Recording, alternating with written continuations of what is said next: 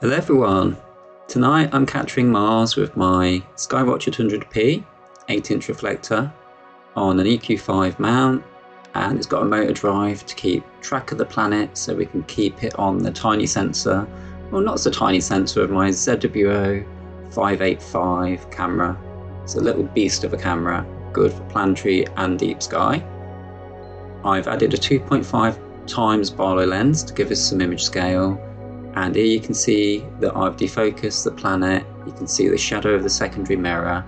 I'm checking collimation that that secondary mirror is in the middle.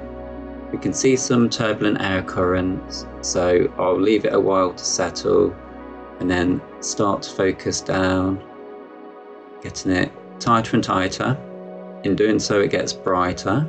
So I drop the exposure down until we can see a good balance between brightness and detail and we may want to zoom in at this point so we can see a bit better what we're doing and we do that by just selecting a smaller region of interest.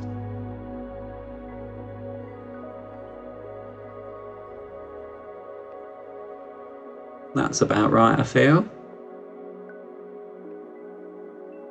I'll try and get the histogram about 60%, that seems to work. That was at the bottom right of the screen. And now I'm going top left to set off the capture of 5,000 frames, which will later be stacked together, well, the best frames stacked together in AutoStakkert to get the best final image. But here are those 5,000 frames being collected, and we can see the polar ice caps and the albedo features, the darker features on Mars.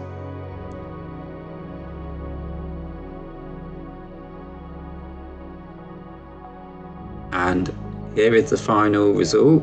After it's been I think we stacked the best 20% of those 5000 frames in AutoStakkert and then did some final processing in RegiStax 6 and if you want to find out how to do that stick around because I show that at the end of the video.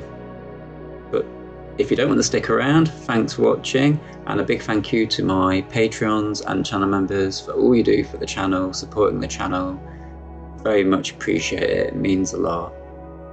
And if I can persuade anyone to stay behind, here is the process I used for the final image, stacking in AutoStakkert, and then doing some final processing in RegiStax 6. Enjoy! Catch you on the next video.